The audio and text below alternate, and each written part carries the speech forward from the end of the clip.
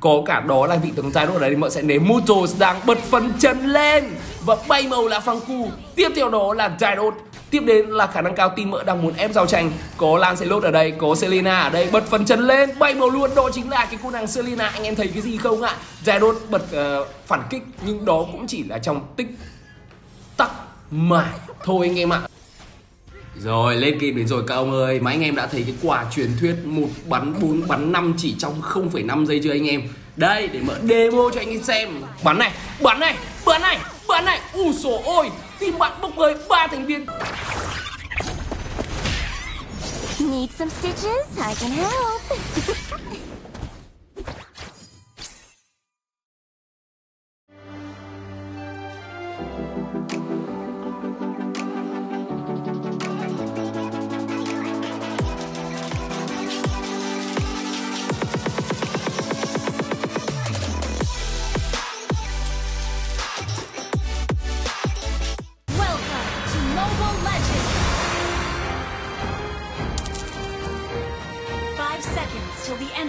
enemy the battlefield.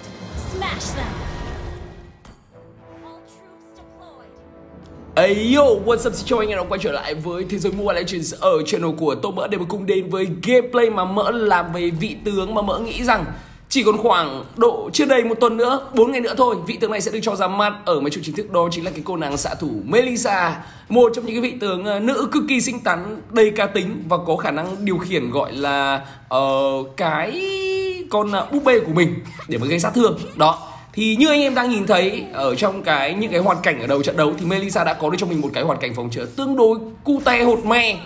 Cô nàng có được cho mình một cái ngoại hình rất là cao và xinh xắn và chúng ta sẽ đã không còn thấy một cái cô bé gọi là lun lun lun giống như là những cái video clip trước mà mỡ làm về Melissa rồi.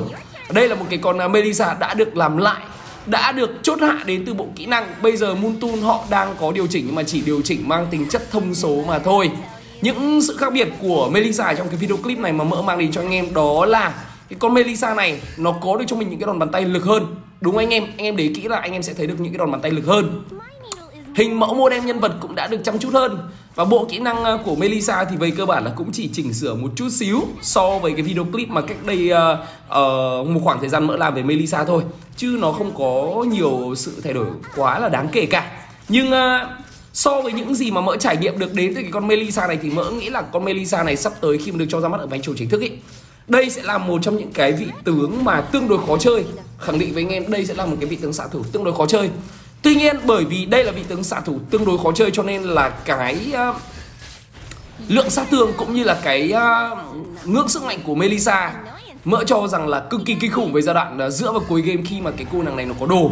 Và anh em biết cách combo của Melissa. Vậy thì combo của Melissa ở thời điểm hiện tại sẽ là như thế nào và ngưỡng sức mạnh cũng như là cách chơi của Melissa ra sao hãy cùng đến với cái video clip này của mỡ nha. Rồi, thì uh, ở giai đoạn đầu game Mỡ nghĩ rằng à, để mà anh em chơi được tốt cái con Melissa này thì anh em cần phải có được cho mình một cái khoảng thời gian à, chăm chỉ đứng farm. Melissa không có bất kỳ một cái kỹ năng nào có thể gây được burst damage ngay từ giai đoạn đầu game mà cái vị tướng này sẽ cần phải phụ thuộc cái lượng sát thương đến từ cái kỹ năng thứ hai cho nên là cái cô nàng Melissa này sẽ cần phải có được một cái khoảng thời gian đầu game farm cho đến khi anh em phải cầm được cho mình khoảng hai món đồ. Thì ở trong video clip này mới đề xuất cho anh em đó là cái cung thần phong kèm theo đó là cái, cái uh, kiếm huyết linh. Đây là hai cái món trang bị tăng đáng kể cái tốc độ tấn công đến từ Melissa Và khi mà Melissa có được cho mình khoảng độ tầm từ level 5 đến level 6 ấy Cái cô nàng này có được cho mình đó là cái skill 2 với cái tên gọi là cái đang nhìn đó à, thì uh, Melissa lúc đó sẽ có thể tạo ra và gây được một cái lượng sát thương cực kỳ khổng lồ. Đến từ uh, cái kỹ năng thứ hai này kèm theo đó là những cái um, kỹ năng khác đi kèm. Rồi thì đầu tiên chúng ta sẽ nói về cái bộ kỹ năng của Melissa một cách đơn giản để cho anh em hình dung ra được nha. Chiêu mục của Melissa thì nó sẽ có tên gọi là thể hiện chút đỉnh. Đơn giản là Melissa sẽ lướt lên phía trước. Cái kỹ năng lướt này của Melissa là tương đối giống với cả Moskov Nói thật với anh em là tương đối giống với cả Moskov Vị tướng à, Melissa sẽ lướt đi một đoạn Có thể vượt được địa hình. Và kèm theo đó là tăng đáng kể tốc độ tấn công của quân hàng Melissa này lên đến tối đa là 75% tốc độ tấn công. Đó, khá là giống Moscow đúng không anh em? Cái chiêu hai của Melissa thì nó có cái à, tên gọi là cái đang nhìn đó. Melissa sẽ ném ra cái con búp bê có tên gọi là Moodles của mình. À, Melissa có hai con búp bê kia nha. Cái con Moodles tức là cái con gấp ở hông của Melissa kìa, màu tím á. Còn con à, phía trên đang bay ngang vai của Melissa nó tên là Cuddles. Con đồ nó sẽ có cái hiệu ứng khác. Đấy. Thì chiêu hai của Melissa sẽ ném ra một con Moodles cái à, chiêu hai này của Melissa sẽ ném ra theo hướng mà cô nàng này chỉ định. Và nếu như mà găm trùng tướng đối phương thì sẽ gây một cái cục sát thương to trước đã. Sau đó là giảm đi à, 60% tốc chạy của mục tiêu khi mà dính phải cái con Moodles này kèm theo đó là nếu như mà Melissa gây sát thương lên cái con Moodles này này, thì đối phương mà bị liên kết bởi cái con Moodles này cũng sẽ bị chia sẻ cái lượng sát thương. Như thế này anh em nhìn này. Đấy, anh em thấy không ạ? Đấy thì uh, chúng ta hoàn toàn ở lúc này có thể tấn công theo kiểu như sau. Thứ nhất là chúng ta sẽ tấn công vào thẳng mục tiêu như bình thường hoặc cái thứ hai đó là chúng ta sẽ tấn công vào cái con Mutos bằng việc chúng ta uh, dùng cái uh, tấn công vào lính hình cái mặt quỷ bên dưới nút đánh. Anh em hiểu không ạ? Đó. Thì khi mà anh em tấn công là như vậy thì cho dù kẻ địch chạy uh, uh, có ngoài tầm đánh của Melissa đi chăng nữa mà chúng vẫn còn liên kết với cả cái con Muto đó thì chúng ta tấn công vào Muto thì kẻ địch vẫn sẽ bị ăn sát thương như bình thường. Và cái sát thương liên kết nó sẽ rơi vào khoảng con số là 55% đấy.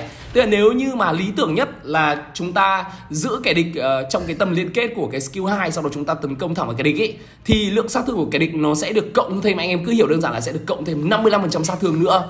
Thì đó là một cái nguồn sát thương chính cũng như là cái sức mạnh chính của Melissa uh, trong cái bộ kỹ năng của cái vị tướng này. Rồi còn à, cuối cùng cái ultimate của Melissa rất là đơn giản. Cô nàng này sẽ tạo ra một cái vòng bảo hộ đến từ con Kudo. Con Kudo là cái con bay màu trắng trắng anh em. Thì khi mà tạo ra được cái vòng bảo hộ này Thì Melissa sẽ đẩy toàn bộ kẻ địch à, ra ngoài tầm cái à, vòng bảo hộ của cô ta.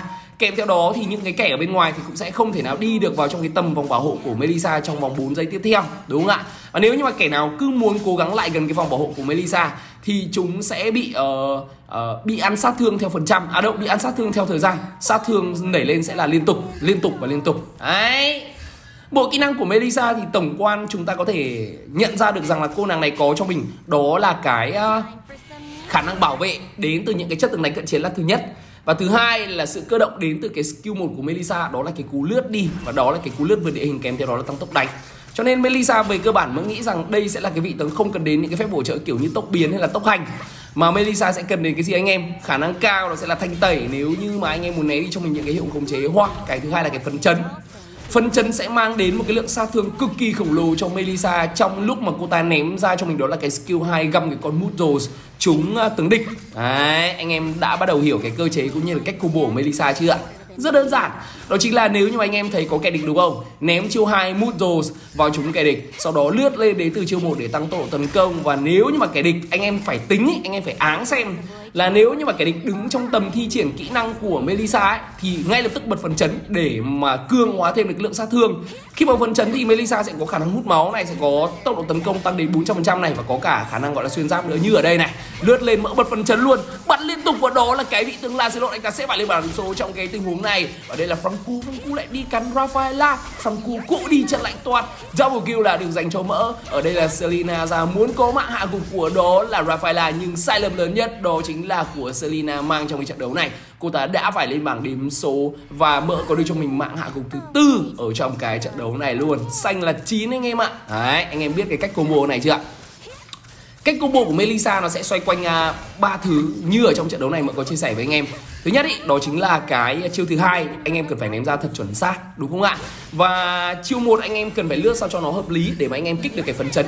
Còn chiêu cuối anh em sẽ để khi mà anh em cảm giác rằng là kẻ địch có thể áp sát anh em thì anh em dựng ra cái chiêu cuối để mà tự bảo hộ anh em khỏi những cái vị tướng lao vào cận chiến ví dụ trong cái trận đấu này kiểu có Lancelot này kiểu có Zaidos này kiểu có uh, Selina đồ các thứ kiểu đúng anh em? Rồi và ở đây là một cái tình huống giao tranh ở trong phần bùa đỏ của team nhà mỡ. Mỡ đang đứng ở đây bật bảo hộ để tránh cho Lancelot lao vào mỡ và quả thực là anh ta không lao vào. Anh ta chạy và anh ta bị hạ gục lên bàn điểm số. Zaidos đang tương đối xanh anh ta có được cho mình đó là cái level 13 nhưng mỡ đứng ở phía bên ngoài bật con mút rồ lên gây ra thương mặc dù không có được mạng hạ gục nào. Nhưng đó là cái lượng sát thương cực kỳ khổng lồ mà cái con Melissa này mang lại. Có được cho mình đó là một cái lượng trang bị tương đối ổn.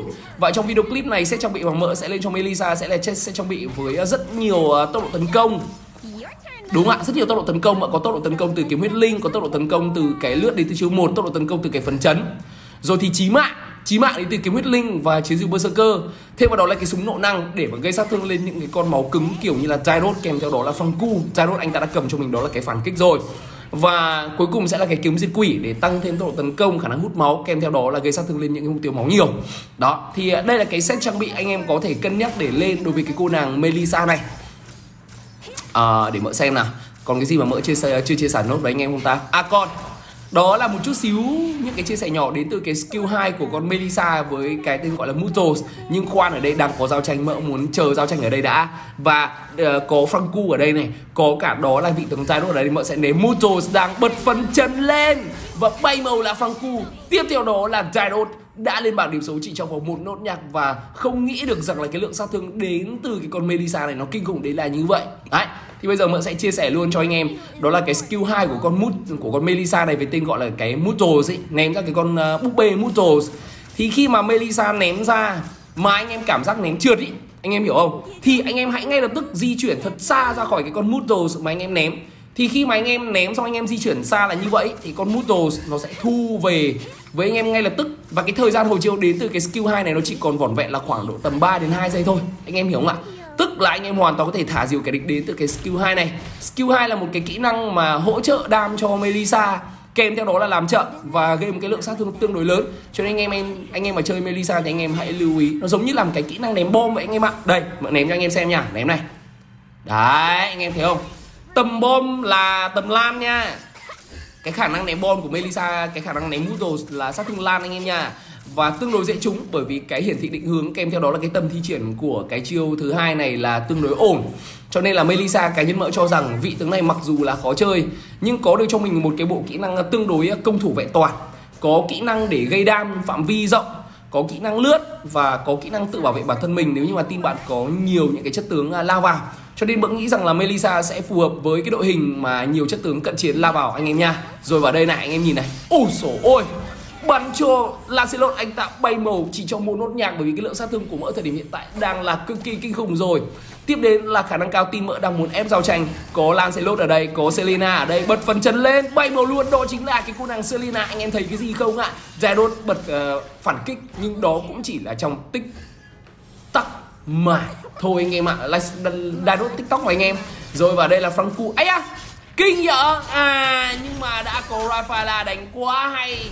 Một cái tình huống xử lý mà mỡ không nghĩ rằng Franku tin bạn anh ta có thể làm được cái điều đó. Anh ta đánh cũng hay đấy nhưng câu trả lời ở đây là Frank à, là là Rafaela tin mỡ hay hơn.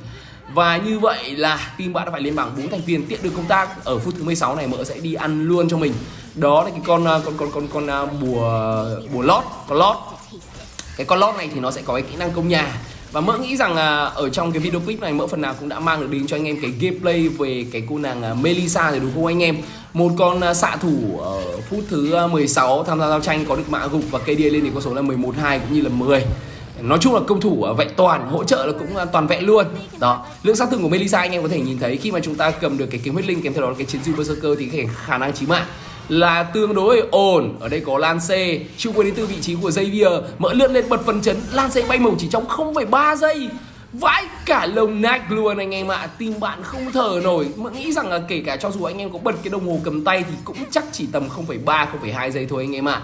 Và giao tranh sẽ được nổ ra ở đây. Trang câu trả lời ở đây chính xác là như vậy. Mỡ bật cung phòng thân lên. Hạ gục đi được Natalia. Nhưng đang có những cái động thái dồn sát thương khống chế. Và team bạn đó chính là Selena và Franku.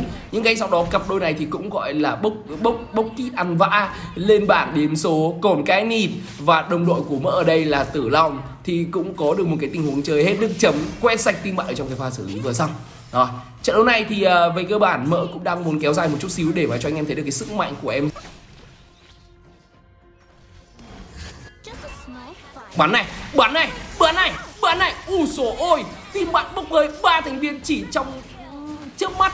Và tiếp theo đó thì ơi ơi ơi cái gì đấy? Cái lùi mí sao lát đúng lúc vợ mất cái mây nhắc của mỡ rồi. Anh em ơi, tí nữa thì là có highlight. Nhưng lại là mất mây nhạc mật rồi, lại còn mất cả mạng luôn. Cay thật đấy, bây giờ đối đầu với cái thằng đài đốt này thì mỡ bật cung luôn. Mỡ không khinh thường nó nữa anh em ạ, bật cung lên, bật phần chân luôn. Đấy, cái thằng đài đốt này nó dị là như thế chứ. Nó cứ thấy mỡ là mỡ, nó bật phản kích xong nó lao vào mỡ. Rồi bây giờ mỡ biết là trái đốt này đánh nó sẽ là như thế nào rồi cho nên là mỡ đã hạ được đai ông trong cái tình huống vừa xong. Đấy, bây giờ là tôi cảm thấy là nguy hiểm phát là tôi bật phần trần lên luôn. Thì tôi không có nhây với cả ông ông ông ông ông ông đai nữa. Ông đai cũng là một trong cái người chơi ờ, tương đối xanh chín đấy. Ok, rồi và với cái việc có được cho mình à, full đồ kèm theo đó là cái lượng sát thương cực kỳ khổng lồ thì anh em cũng đã biết được rằng là với giai đoạn lên game Melissa đang là một trong những cái vị tướng xạ thủ tương đối tiềm năng khi mà được cho ra mắt ở máy chủ chính thức đúng không anh em? À, nhưng mà có một cái điều anh em cần phải lưu ý là tầm bắn của Melissa nó cũng à, không có quá là xa và tương đối gần được cái Melissa rất là cơ động. Đó. Cho nên là uh, với những cái đội hình như mà có chia sẻ với anh em là lao vào và là cận chiến thì Melissa phần nào đó ổn hơn những cái vị tướng xạ thủ khác. Đó. Nhưng uh, nếu như mà anh em đòi hỏi ở Melissa một cái vị tướng uh, xạ thủ có thể uh, chơi được ổn và có được cho mình một cái uh, giao tranh ở giai đoạn đầu game nó tốt giống như là Beatrix hay giống như là cờ linh thì nghe chừng nó không được đâu anh em ạ. Vào đây này. Ôi sổ ôi bắt đúng hai cái tăm gặp vào người của em uh, Natalia và em đấy cũng đi chân lạnh toan luôn anh em ạ. Mạ thứ 18 của mỡ luôn rồi đây. Và mỡ thấy ở phía bên này là có Franku Franku thanh niên này uh, thích thích thích cắn mỡ lắm. Đấy trông mỡ mỏng manh yếu đuối thích cắn mỡ lắm. Nhưng mà về cơ bản là anh ta đã phải tốc biến lui về rồi. Anh ta còn thậm chí dùng cả đôi giày ẩn thân luôn ở đây là có Dairos tiktok đúng không? Mỡ sẽ để hết võ để mỡ dồn cho thằng Dairos này luôn. Rồi ở đây Dairos đã đánh rồi. Mỡ nhảy vào bật phần chân lên bật cung lên bật ultimate luôn. Franku ở kia, Franku làm cái gì đây? Định cắn mỡ anh em ạ nhưng mà cắn cái lồng nạch lên bảng điểm số đi ạ. À. bố cái thằng này gọi là béo mà dơ đúng anh em? Ừ, rồi. Và sau đó hạ gục đi được đó là trả lá lốt. Và như vậy là trận đấu này cũng đã là kết thúc ở đây rồi. Và nếu anh em thấy video clip này mà mỡ làm về Melissa Okela để đủ điều kiện để anh em mua cái vị tướng này thì đừng quên để lại cho mỗi một like là kỳ kênh nha. Peace.